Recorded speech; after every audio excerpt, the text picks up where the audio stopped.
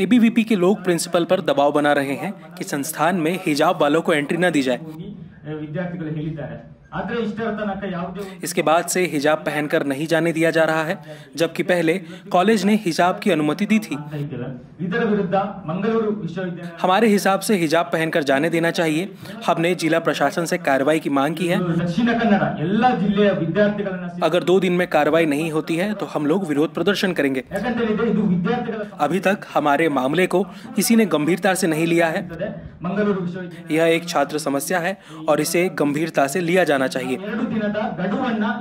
हम जिला प्रशासन और वीसी को दो दिन का समय दे रहे हैं। अगर वे इस मुद्दे का हल करने में विफल रहे तो हम विरोध करेंगे।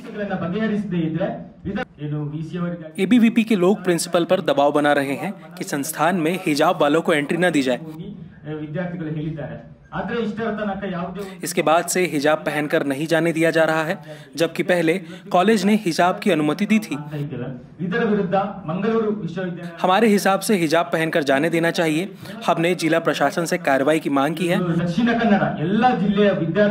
अगर दो दिन में कार्रवाई नहीं होती है तो हम लोग विरोध प्रदर्शन करेंगे।